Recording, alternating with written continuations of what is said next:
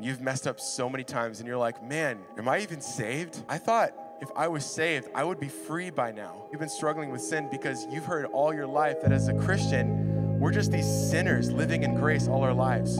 But Jesus calls you a saint after you accept Christ. He calls you a new creation. He calls you a son or a daughter. It's the devil that knows your sin and he knows your name, but he calls you by your sin. It's Jesus that knows all your sins, but he chooses to call you by your.